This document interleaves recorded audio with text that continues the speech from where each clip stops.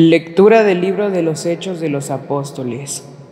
En aquellos días, Pablo tuvo una visión nocturna en Corintio, en la que le dijo al el Señor, no tengas miedo, habla y no calles, porque yo estoy contigo y nadie pondrá la mano sobre ti para perjudicarte.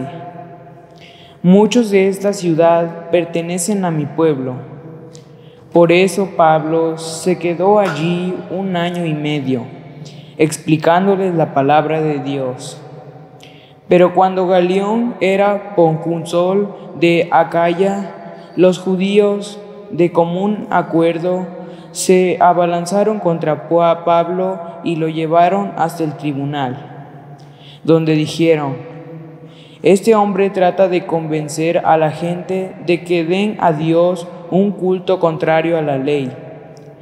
Iba Pablo a tomar la palabra para responder, cuando Galión dijo a los judíos, si se tratara de un crimen o de un delito grave, yo los escucharía, como es razón, pero si la disputa se acerca de palabras o de nombres o de su ley,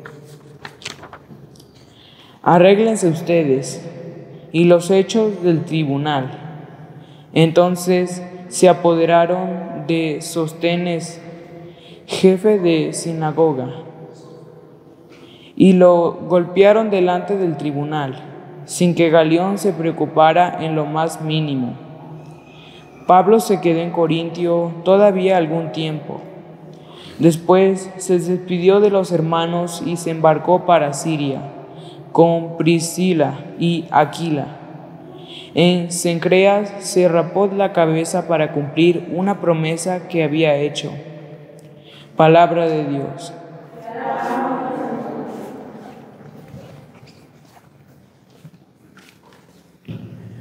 Dios es el Rey del universo. Aleluya.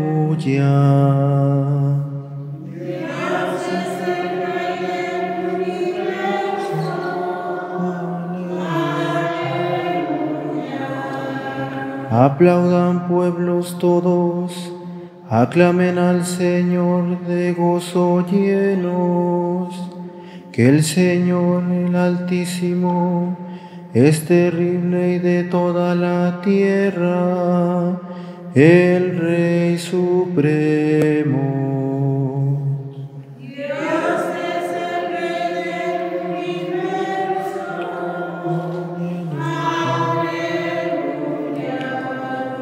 Fue Él quien nos puso por encima de todas las naciones y los pueblos, al elegirnos como herencia suya, orgullo de Jacob, su predilecto.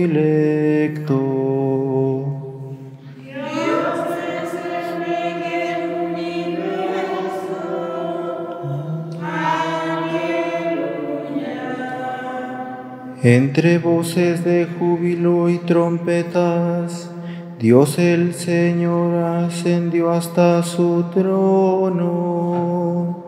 Cantemos en honor de nuestro Dios, al Rey honremos y cantemos todos.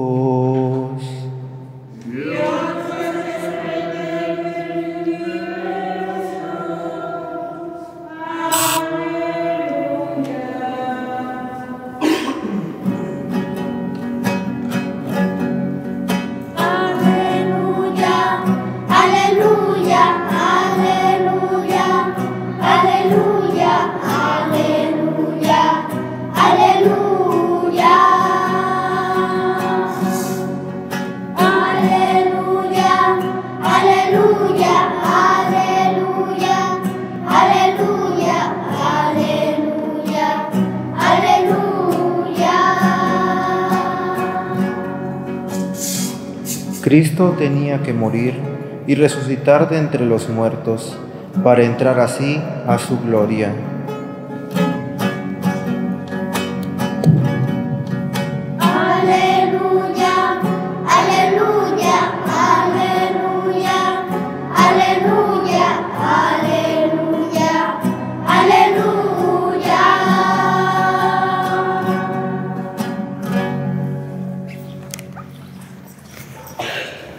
El Señor esté con ustedes. Lectura del Santo Evangelio según San Juan.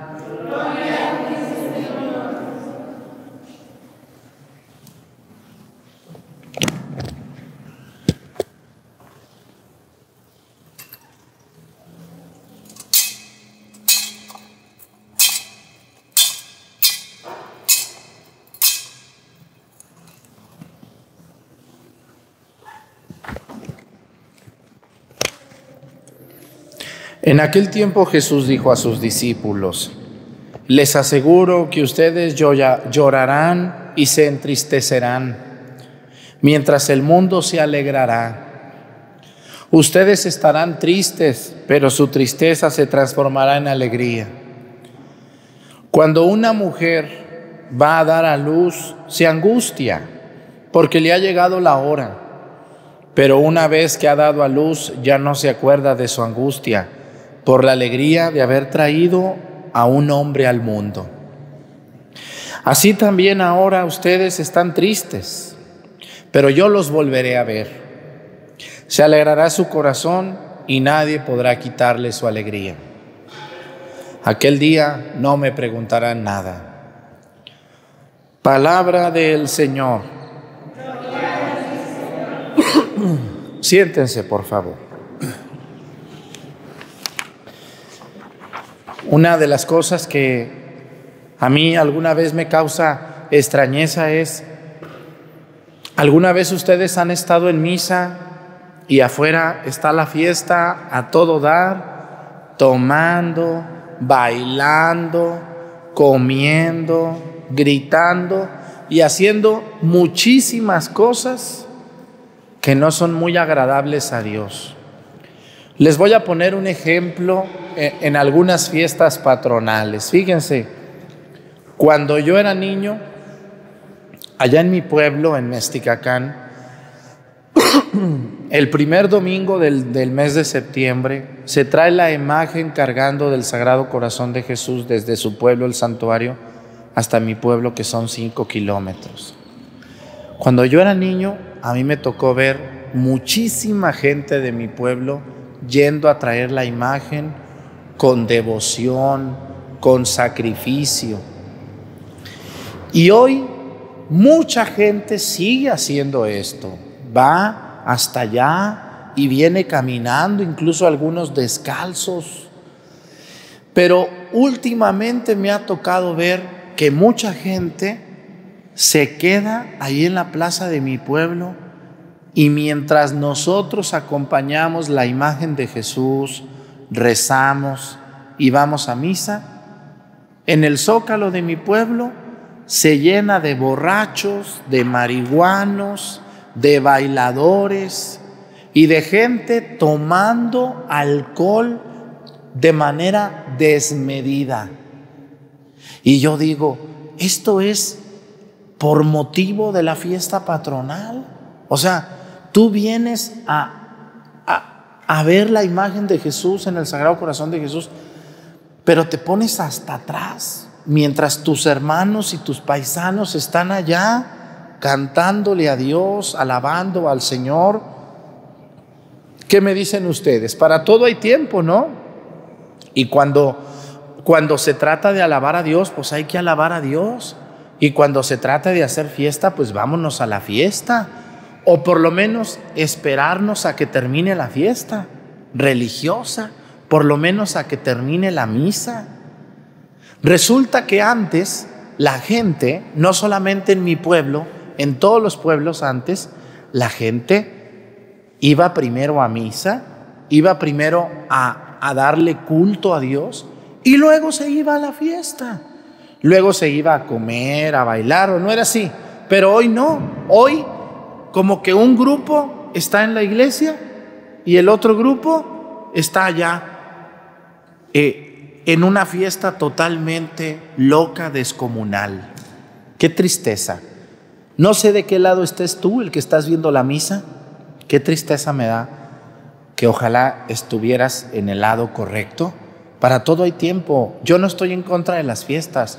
Yo no estoy en contra de que bailen, yo no estoy en contra de que de vez en cuando se echen su cervecita, yo no estoy en contra de que de vez en cuando platiquen y se diviertan, pues también a este mundo venimos a divertirnos, pero para todo hay tiempo y primero hay que darle culto a Dios y después la fiesta, no al mismo tiempo, unos rezando y otros bailando, unos alabando y otros emborrachándose, unos adorando al Santísimo y los otros allá embruteciéndose. Pues ¿qué es eso?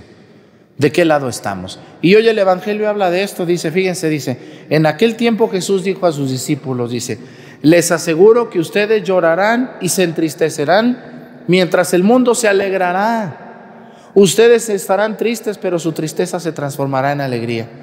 Hay gente que se divierte vernos a nosotros rezar en la iglesia y los tachan a ustedes de ratas de sacristía. ¿Qué más dicen de ustedes? que son mochos, que se la pasan aquí, que de cuando acá. Todo eso dicen de ustedes. ¿Y de mí qué no dice la gente? Uh, se dan vuelo. Pero mm, miren, yo voy a seguir, aunque les caiga gordo. Pero entre más gordo les caigo, más me ven. Bendito sea Dios. Se está cumpliendo lo que dice el Evangelio. No dice, algunos se entristecerán, dice, Ustedes y llorarán, dice, y otros se, divertirán con ustedes, se alegrarán. Yo me pongo a ver algunas fiestas. Si ustedes se fijan, allá en Aguascalientes está la Feria Nacional de San Marcos. Y, y eran así, así. Yo viví en Aguascalientes cuatro años. Son miles de personas allí alrededor de una banda tomando, pero no sé, parece que el tequila parece agua. Al día siguiente terminan ahí tirados, orinados.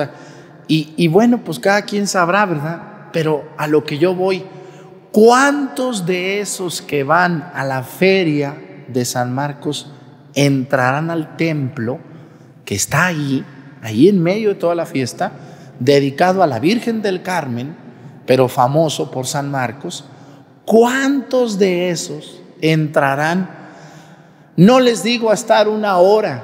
¿Cuántos entrarán un minuto ahí a saludar a San Marcos, decirle, oye San Marcos, pues gracias por la fiestonona que me voy a aventar, ¿eh?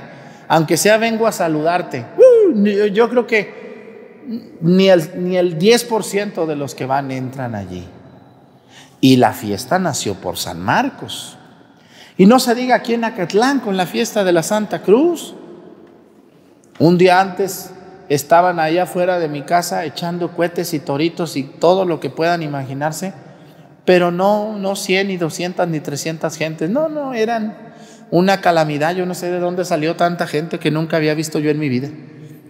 Pero al día siguiente del día de la Santa Cruz, la iglesia llena, pero sin apretarnos, así, normalita. Porque el pretexto son las cosas de Dios, pero no es la finalidad. Y ahí es donde está el error de mucha gente de hoy. La gente dice, vamos a la fiesta de la Santa Cruz y no se imaginan una cruz, se imaginan una botella de cerveza. ¿O no es así? No se imaginan subir al cerro a pedirle a Dios la lluvia. No, es bailar y cantar y gritar y hacer escándalo. ¿En qué hemos convertido nuestras fiestas patronales, porque casi todas esas fiestas nacieron con una, con un con una índole religiosa, de devoción. Y yo los felicito a ustedes porque yo sé que ustedes también van a la fiesta, pero primero vienen a misa. Y así debería de ser. Todos tenemos derecho a divertirnos, pero también primero vamos a darle culto a Dios. Y yo lo que quiero decirles a ustedes, hermanos, me voy a fijar en la primera lectura que es una hermosura. Miren, hace unos días me enteré que allá en una parroquia de La Mancha, en un pueblito de gente muy cerrada, se organizaron unos señores muy mandones y fueron con el obispo a denunciar al sacerdote de la parroquia. ¿Saben por qué? Fíjense nomás por qué de dar risa. Fueron con el obispo y le fueron, fueron a denunciar al padre que porque ese padre había hecho y había puesto un rezo que se llama Hora Santa los jueves sin haberles preguntado a ellos. Entonces, ese padre no estaba bien, porque no debe de haber hora santa sin que ellos les pidan permiso. Fueron con el obispo a decirle que ese padre estaba mal, que por qué puso la hora santa. Háganme el favor. Ahora el padre está mal porque puso la hora santa. Santo Dios. Y el obispo les dijo, no, pues qué bueno que se las puso, me da mucho gusto. No vengan a decirme eso, qué bueno que el Padre puso eso en su pueblo, que nunca había habido hora santa. La gente ni sabía que era la hora santa y estaban enojados con el Padre. Y fíjense lo que dice la primera lectura. Resulta que unos hombres judíos le tenían mucha envidia a San Pablo. San Pablo había llegado a Corinto y resulta que los que antes iban con ellos a la sinagoga, ahora iban con San Pablo. Y entonces se llenaron de envidia. ¿Y qué causa la envidia? A ver, ¿alguien de ustedes le han tenido envidia? Cuando tenemos envidia, ¿de qué somos capaces los seres humanos? De todo. Por envidia se desprestigia. Por envidia nos burlamos de las personas. Por envidia hacemos menos a los demás. Por envidia le ponemos trampas a otros. Por envidia robamos, por envidia difamamos, por envidia inventamos falsos. Incluso hay quien por envidia ha matado a alguien. La envidia. Dice que fueron los judíos con el encargado de la ciudad de Corinto, que se llamaba Gallo o algo así, déjenles digo, Galeón. Fueron con Galeón y le dijeron, mira Galeón, este hombre mentado Pablo nomás vino a dividir a nuestro pueblo y engaña a la gente con predicaciones de un mentado Jesús. Te pedimos que lo corras de este pueblo. Estamos cansados de él. Pero fíjense lo que le dice Dios a San Pablo. Y esto a mí, a mí, a mí me anima mucho. Mucho me anima. Hagan de cuenta que es como si me dieran cuerda ¿Se acuerdan de los relojes de antes que les daban? ¿Quién de ustedes tuvo un reloj de cuerda, señoras? ¿Alguien de ustedes tuvo un reloj de cuerda? Si, si le daban cuerda, servía el reloj y si no le daban, pues se paraba. Así es. La cuerda le daban vueltas así. Yo me acuerdo de un reloj de mi abuelo así, que le para que jalara toda la noche y ya lo dejaba ahí ya estaba el reloj. Toda la noche así, yo ahí oyéndolo eran los relojes de cuerda. Entonces a mí, con esta primer parte de los hechos de los apóstoles, hagan de cuenta que Dios me está dando cuerda. Y esto no solamente me debe de motivar a mí, también a ustedes, los laicos que están en la iglesia. Dice, en aquellos días Pablo tuvo una visión nocturna en Corinto, dice, en la que el Señor le dijo, Pablo le dijo, voy a leerlo despacio y fuerte, le dijo, no tengas miedo, habla y no calles, porque yo estoy contigo y nadie pondrá la mano sobre ti para perjudicarte.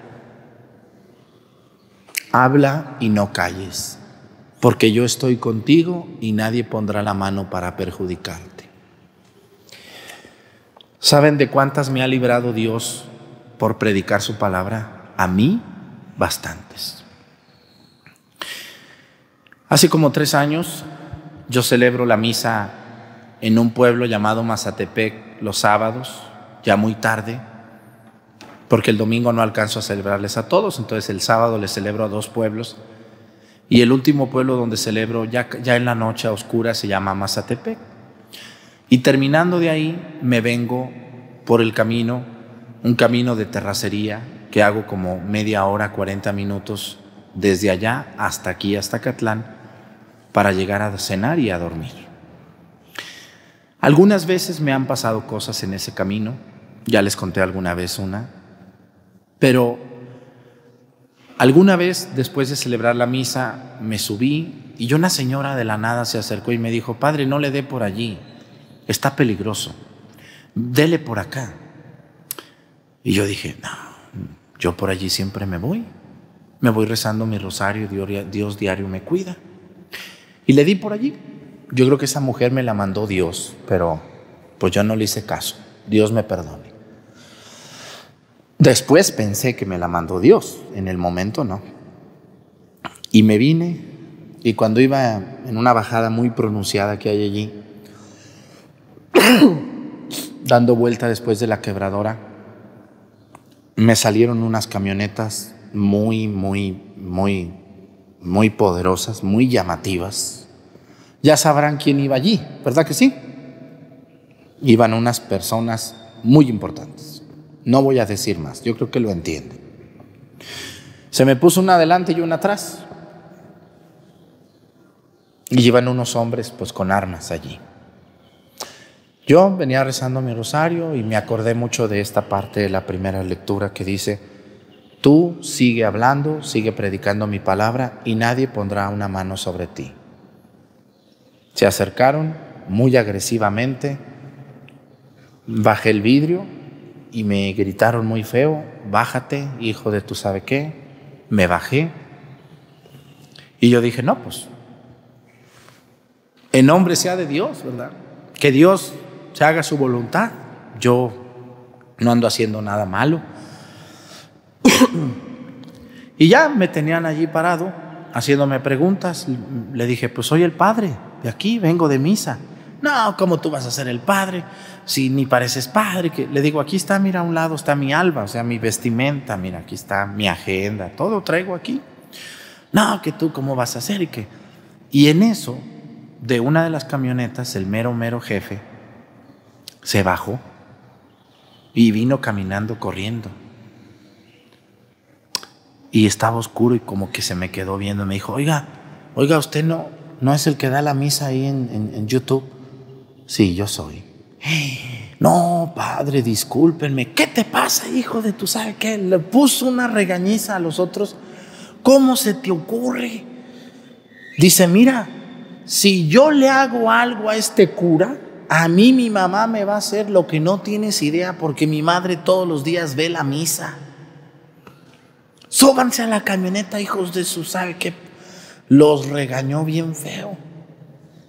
Me dijo, híjole, padrecito, discúlpeme, mire, yo, y me empezó a contar cosas bien graves, como que tenía ganas de hablar, y me contó cosas muy graves que había hecho que no les puedo decir.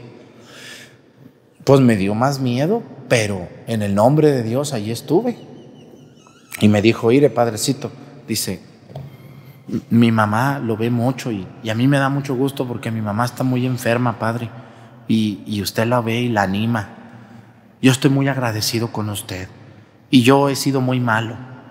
Y ojalá, ojalá Dios me perdone, pídale a Dios por mí.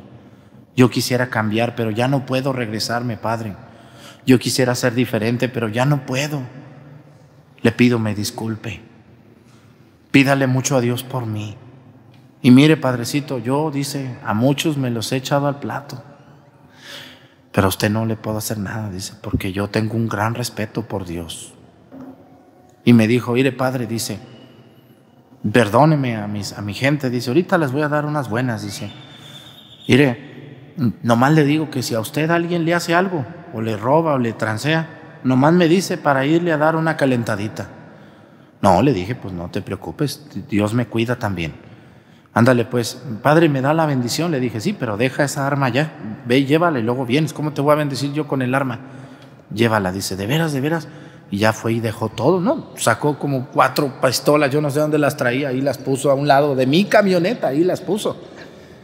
Me dijo, ahora sí écheme la bendición. Y se hincó. Y le di la bendición.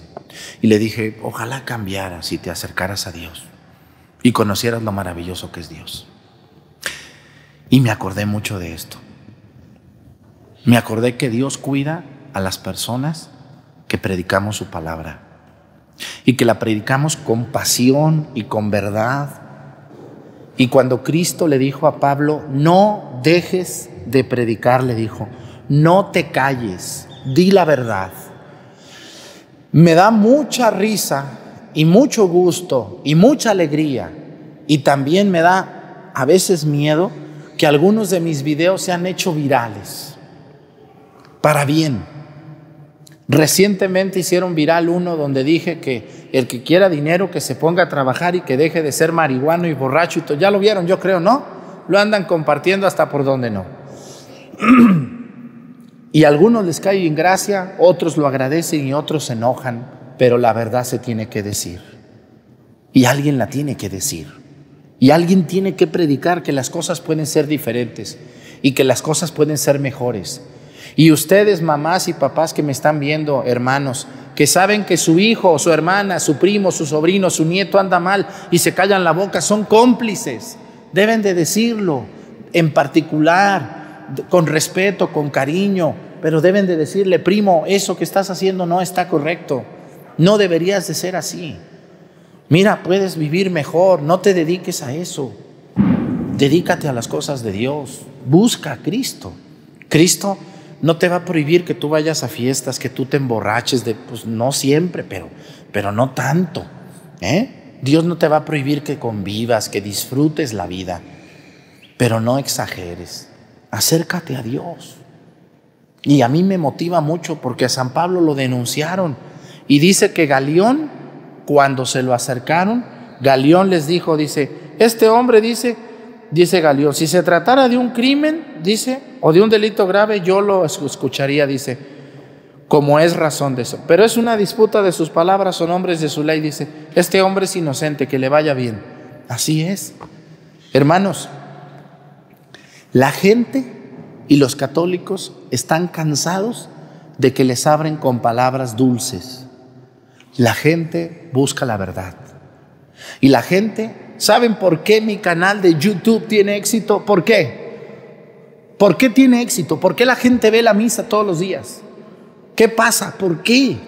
Porque si celebramos en unas capillitas tan sencillas, tan simples, en pueblitos que estamos acá en medio de la nada, no tenemos catedrales, no tenemos iglesias inmensas, hermosas, no. Nuestras capillitas son sencillas. Los monaguillos que me ayudan apenas pueden con su alma. Los cantores también, los lectores también. Nos ponemos nerviosos, temblamos de los pies. ¿Por qué la gente ve este canal? Porque la gente está buscando la verdad. Y porque a la gente que está bien de su cabeza le gusta que le digan las cosas como son y como van. Y ahí está el detalle. Hermanos, la iglesia no necesita fanfarrones, ni necesita personas que sean tapaderas, ni hipócritas en su hablar. Necesita gente sincera, amante de la verdad y amante del Evangelio de Cristo. Solo eso va a cambiar el mundo. Quien se la pasa diciendo suavecito, suavecito, eso no cambia a nadie. Las cosas se tienen que decir con verdad. ¿Por qué me salvé yo de esto que me iban a hacer? ¿Por qué? Por una señora que era la mamá del líder. Y que él me dijo después, dice, padre, yo, mi madre me dijo que con usted, yo, a usted yo no le puedo hacer nada, padre. Al contrario, si a usted alguien le hace algo, usted nomás me dice a mí. Pues claro que no le voy a decir. Solo uno que otro, a lo mejor por ahí de esos malvados que llegan, ¿verdad? Muy malvados. Pero no, hasta ahorita no. Y no lo voy a hacer. Pero ¿Por qué me salvé yo? ¿Por qué salvé mi pellejo? Por una señora que ve la misa todos los días y que le dijo a su hijo, mira, el Padre me ayuda mucho, hijo. Cuando lo veas me lo saludas. Eso me salvó, me salvó el mensaje del Señor. Así también a ustedes, cuando hablen con la verdad, cuando hablen de Dios van a caer gordos, pero Dios siempre los va a sacar adelante, como a San Pablo lo sacó adelante de la demanda que le metieron estos envidiosos con Galión. Que Dios nos ayude a todos, nos fortalezca y nos anime a decir la verdad.